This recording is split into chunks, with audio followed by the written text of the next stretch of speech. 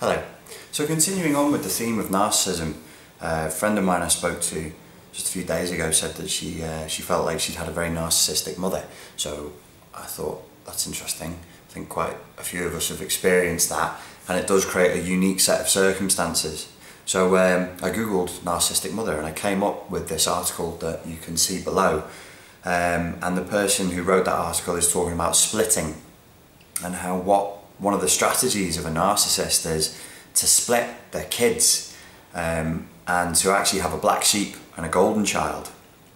This will resonate with many of you. I ran a, uh, an NLP meetup group last night uh, that I run here in Kuala Lumpur and uh, everybody, we weren't supposed to be talking about narcissism, we were supposed to talk about meditation and hypnosis and we ended up talking about narcissism the entire time. Everybody around that table had experienced narcissistic abuse or abuse at the hands of people with narcissistic personality disorder, either in families or in personal relationships, and everybody there said that they felt like they'd experienced what it was like to be the black sheep. So the golden child is the child that is selected for special care, special treatment. Um, and the blacks, uh, they'll always be given the best of everything and everything that they do. Every naughty deed they do will be covered up and, and reframed uh, to be something positive. Um, and every good deed that they do will be put on high and, and brought to attention. The black sheep, um, we have an expression up in Liverpool, I can't do wrong for I can't do right for doing wrong. Uh, which is when you're put into a double bind in a relationship where nothing you do is ever good enough and nothing you ever do is right. You are simply wrong. Um, and because that becomes your static identity, no action of yours can ever be regarded as anything else but the, the actions of a cad and uh, uh, you know some dark intent. We I brought this up in another video uh, whereby for a black sheep in the family, even a charitable deed, even a deed of pure positive intent and compassion will be reframed as uh, something mean, something nasty. One of the other things that we talked about last night, uh, one of the girls that came to the meetup group said that her grandmother had a tendency to um, speak ill of everybody. So even if you as the black sheep in the family then try and acquire allies and friends um, who would help you to maybe redress your view of reality and come out of that prison, um, those friends will be attacked. You know, why do you hang around with them? They're idiots, they're no good, they, they're, they're a waste of time, they're a waste of space. Um, and this reminded me of the uh, patterns of behaviour that were represented so well in the series The Sopranos. Tony Soprano's mother was a, a, a classic narcissist, and they actually got into the psychiatry of of, of toxic narcissism in the Sopranos series, and it's, it's a very good study of it. It was actually a portrayal, apparently, of David Chase's mother. David Chase is the guy who wrote The Sopranos, and he wanted to put his own mother as a character in the show to show how narcissists operate and the effect they have on their kids. So, apart from splitting um, and making one child the golden child and the other child the black sheep uh, to some extent, another issue that came up uh, last night that we all need to be careful of is if you've been the victim of a narcissist, you're likely to have acquired some narcissism yourself. So then we got into the issue of, well, is narcissism ever healthy? And uh, all the psychology research, well, not all, but some of the psychology research out there says that it is. Uh, people who have narcissistic tendencies will make more money, uh, will do better in life, will take better care of themselves. And if you think about it, this makes sense and I would say, I don't know if this is an official psycho psychological term, but there, there, probably is something that we could describe as a benign narcissism. So if you imagine there's a person who is completely in love with themselves, completely in love with their own idea of themselves, imagine somebody who's very eccentric and theatrical and, and uh, you know, uh, somebody who's out for a good time, and, and, and within that, like a, like a sort of a, a party goer type of personality. Because I've known a few people like this, and they, they become club organisers and uh, club managers and event organisers. But their narcissism is benign because they don't need to abuse anybody in, need to, in order to make themselves feel good. And the narcissism is also benign because they are capable of compassion. So I think probably what is likely to occur is that we all hit somewhere on the scale for narcissism as in uh, using the word narcissistic as an adjective, but that does not necessarily mean you are a narcissist, a noun. If you're a narcissist, it implies uh, toxicity, it implies a need to abuse, it implies a need for sadism. I need to be cruel to you in order to make myself feel good. one of the terms that came up last night that some of the people there hadn't heard of is narcissistic sources and narcissistic supply. If you are uh, an empath, an empathic person, and you find yourself constantly being drawn to narcissists who then use you like a vampire sucks uh, from, from its victim, what's happening is the, the, the narcissist is using you as a narcissistic source. So anybody or anything or any situation that is a mirror, a funhouse mirror, in which they can look at the illusory image they have of themselves and see something beautiful and pretty, as, as long as you keep the illusion alive. Uh, if you challenge the illusion, you will either be derided, uh, outcast, or beaten, you know, so either psychologically or physically. Uh, anybody who challenges the precious, precious illusion will be attacked with a level of aggression and vociferousness um, and viciousness that, that will be shocking. And I have seen this play out. Um, another tactic that was mentioned last night is that narcissists, if you're having a conversation amongst a group of five or six friends, will try as much as possible to lead the topic of conversation back to something that they understand and that they know so that they can dominate the conversation and so they can uh, seem to be the, the center of attention. And then somebody said, wow, narcissists, that means they're really intelligent if they know how to do all this stuff. And I said, no, not necessarily. Some narcissists are thick. And I know a couple of narcissists who they do use the tactic of trying to change the topic of conversation constantly back to something they know. But where that tactic fails, they will just talk about stuff they have no idea about and they'll make outrageous assertions about the topic, but in a very stroppy, very aggressive way so that if you challenge them, it actually is going to create a scene and is going to get this very emotional uh, kickback from them. Um, a final, no, there's two final things. There's always a final, final thing with me, isn't there? There's uh, there's two final tactics that I want to draw your attention to because one of the things that came up last night is the sense of relief that everybody felt that like my god everybody's experienced this i thought it was just me uh, i reminded them if anybody's ever made you feel like crap just by talking to them, or if anybody's ever made you doubt your sanity and feel like you're going crazy, you'll probably have been the victim of some uh, insidious, nasty narcissistic strategies. One of those narcissistic strategies that, that I'll, I'll leave you with is um, reframing. Reframing is something that comes from NLP, uh, but it's something that humans have done since they learned how to say ugh and oi and you know make these primal sounds of, of communication. Reframing is um, you change the meaning of a communication by change by subtly changing the context of the communication. So here we go. Let me give you a worked example. Don't mock this. I've been working on this little sketch for days, right? So let's say I have a pen and I'm going to gift this to my friend. I know that my friend needs a pen. So my friend comes and he says, hello friend. And I say, hello friend, I have a gift for you. Oh, do you? That's nice of you. Here's this pen. Thank you very much, he says. And then he walks off with it and he feels good because he's got a good friend and he's got a pen and I feel good because I was allowed to do an act of kindness and he said, tells me that I'm a good person and everybody's happy. Here's the same scene played out with a narcissist. I have a pen and I want to give it to the narcissist. I've actually bought this for him.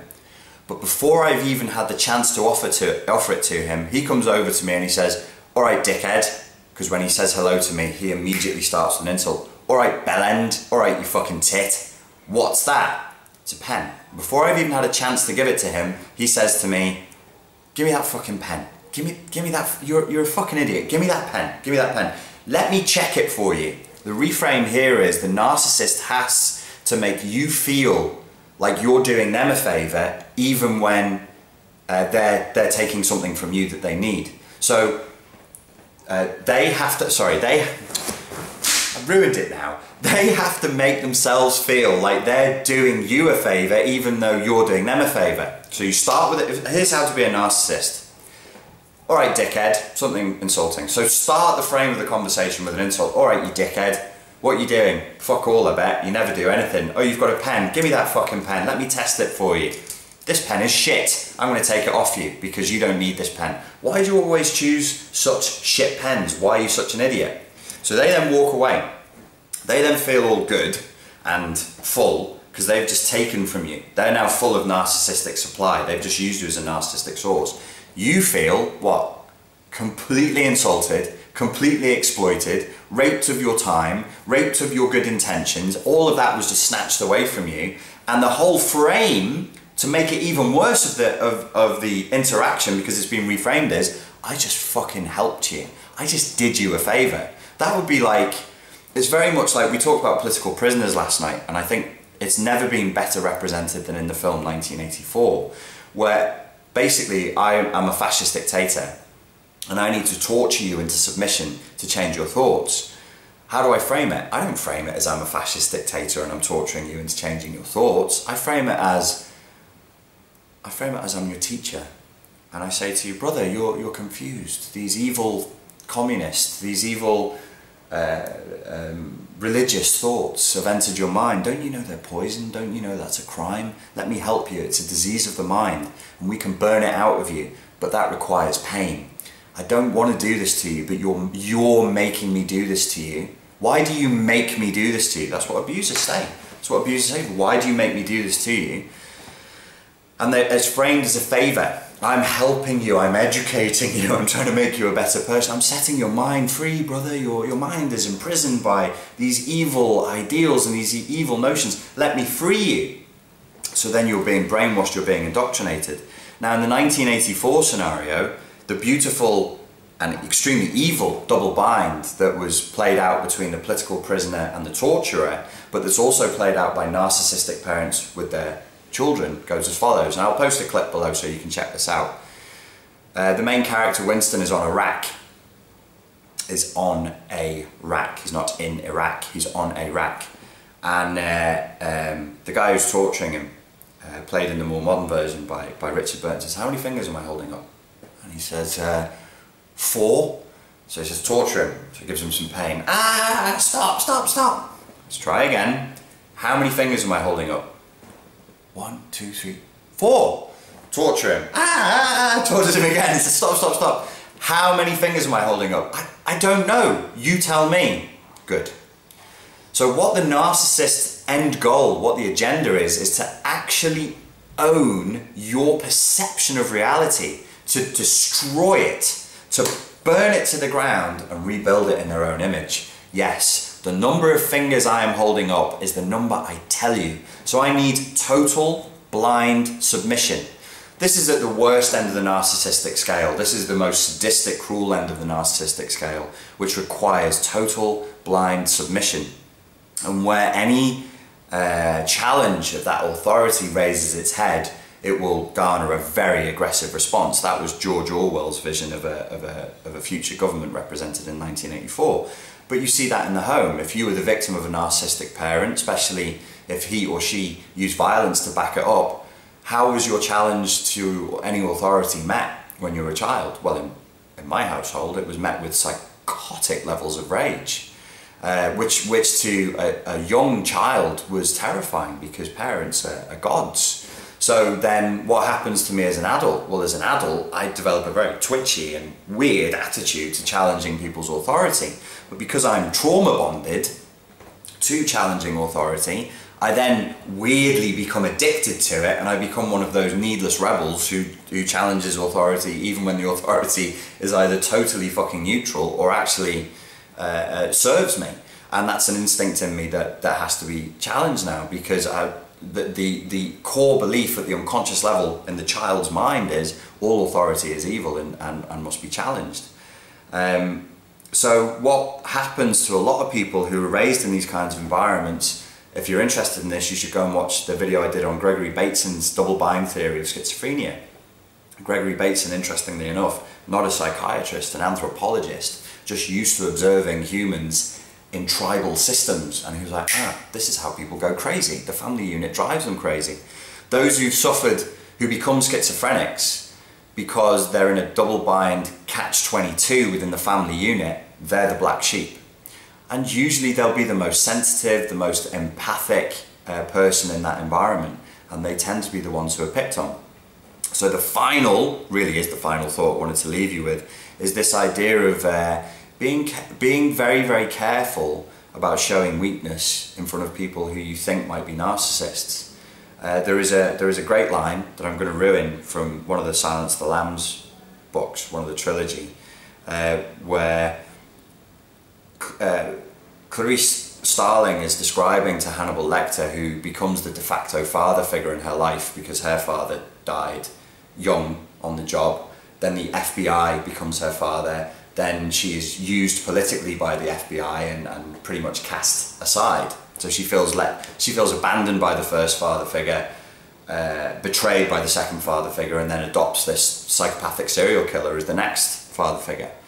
And um, what Hannibal Lecter says to her is uh, when the rabbit falls into the trap and screams, the fox comes running, but not to help Clarice, not to help. I think that's really fucking creepy, but it's actually true. If you're a narcissistic abuser and you need people to lick your jackboots because you're a nutcase and you need that to feel good, uh, you will you will attract. You will go for weakness. You, the shark goes for the blood in the water.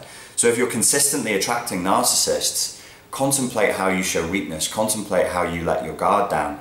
It's a sad thing to have to tell people as a generic piece of psychological coaching for life that you might need to raise your guard a little bit higher. You can't trust everybody who comes into your environment. There's some very disturbed individuals out there.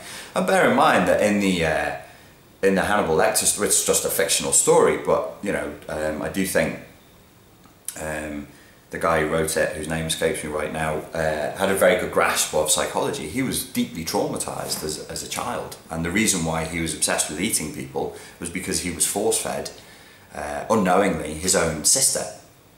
Um, and this is how the mind works. This is this is a, an accurate reflection of how the psychology of, of, of the pathology of evil and, and narcissism at the most sadistic ends of the scale actually works. There is no mercy, there is no compassion, expect none. The only thing that you can do that I've heard of, and I've discussed this with a lot of people over the years that seems to work, is withdraw. When you withdraw, you regain your sanity. These people are trying to constantly wear away your view of reality and how you feel. And you can see um, one final tactic, one final tactic of narcissist is the provocative statement. Oh, uh, I thought you were strong and uh, I see that you're weak. Nobody's, no narcissist who's worth their salt is actually going to say, I thought you were strong, but I see that you were weak. Um, that would be a very odd thing to say. That's like a line from the Game of Thrones or something. You know, I thought you were strong, but I see you were weak. They'll imply it. Oh, I thought, uh, I thought you were a psychologically robust person. Oh, see, maybe I was wrong. I see, I see, maybe I was wrong. Did you hear me? So it's like, it's a it's it's a hook. It's a bait. I'm I'm baiting you and saying I am strong. And how easy to manipulate are you then? Oh, actually, I really thought you were a, an ambitious person. Uh, but but but I, I, guess I was wrong. You know that that structure is almost like uh, real life trolling. You're trolling that person and you're goading them into into giving you an emotional response. This is a common tactic of narcissists. They use a hook. They need to hook you in. If you refuse to be hooked and you just identify it for what it is, you can smile, you can shrug, and you can say, okay, that's your reality, those are your needs, that's your addiction. Uh, this is what you do to try and garner attention from people. It's very childish because it's negative attention, but some people do get addicted to negative attention and they are, as far as I've seen so far, these narcissistic personalities are the victims of, of abuse and that's why they do and say weird things. Um, so that's the final tactic I'll leave you with. I do think we need to talk uh, another time about different tactics so you know what you're dealing with. It's like preparing people for psychological warfare this. Um, but it, it, the, the power of this and the healthiness of this and the sanity of this and the relief of this is to say A, many other people have experienced this and B, it's not you you're not going crazy. These people are deliberately seeking to press your buttons to provoke you, to feel so their ego can be uh, be fed in this really dark, demonic, uh, weak. It's very weak. It's a very parasitical way. They feed off it. One of the other things we need to talk about is Eckhart, Eckhart Tolle's concept of the pain body, uh, an often misunderstood concept. And I do think that once this pain body rises up in them, it then seeks to draw energy from your pain body. But in order to draw energy from your pain body, I can't have you in a good, healthy, happy state, can I? I need to press your buttons so you've ah, so you're angry or pissed off or sad or depressed or suicidal or jealous or whatever, so that I can feed off that. And uh, when you're dealing with people who, especially in sexual relationships, who work hard to make you jealous frequently, that's what's happening. They're feeding off your pain so that they feel less pain. It's dark stuff. We're in the dark realms here, and you know I try and keep these videos light and upbeat because I don't want to depress people or frighten them. I want, want you to walk away feeling happy and cheerful, and you will. Um, but th th these are the darker realms. We're talking about how uh, not all narcissists are, are, serial killers, but these are the ways in which uh, career criminals and serial killers and rapists and paedophiles, this is how their minds operate because they don't see people as people, they see people as things. So never expect compassion um, and be careful, keep, keep your guard up. This is like proper self-defense for the mind right now. Okay guys, um, don't get freaked out, live in the light, go and watch some uh, uh, kitten videos. Uh, I saw a really good one the other day. It's called something like Tickling My Scottish Fold Kitten. And this woman for a minute is just tickling this tiny kitten's belly. It's amazing. Anyway, uh, that's enough of that, and I'll speak to you soon. Thank you for your time and your attention.